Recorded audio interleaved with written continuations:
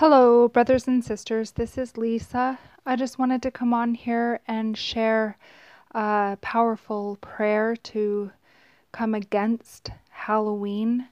And um, I'm going to post the transcript or in the comment section for all of you.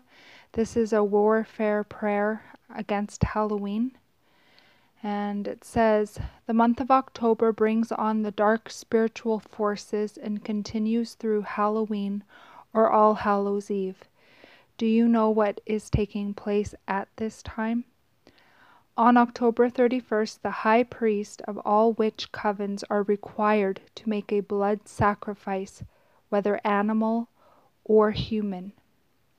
In the name of Jesus, I command all astral projection, ungodly silver cords, implants, ley lines, and spirit triggers to be removed in the name of Jesus. We come against all spirits that operate during Halloween and leading you to. We bind all spirits of death and Samhain I cancel all Satan's assignments against my family, both human and spiritual, in Jesus' name. I pray that God would intervene and create circumstances that will prevent the ritual human and animal sacrifices from taking place. I close all gateways and portals, including the third eye, the enemy may use, in Jesus' name. I seal and cover myself and whole family with the precious blood of Jesus now. I declare we are now hidden in the secret place of the Most High in Jesus' name, and declare we are invisible to the enemy and hidden in Christ. Amen. I thank you, Lord. All my enemies are now removed from my presence in Jesus' name. I release the blinding light of God on all evil spiritual hosts that even try to come near me and my family in Jesus' name. We declare we are clothed in his glorious armor of light right now. Amen. Sickness, depression, distraction, discouragement, oppression, go now in the mighty name of Jesus Christ. We renounce all works of darkness I bind the prince of power of the air and all his networks, and destroy all their strategies and assignments against myself and family. And I'm going to add to this all my brothers and sisters in Christ.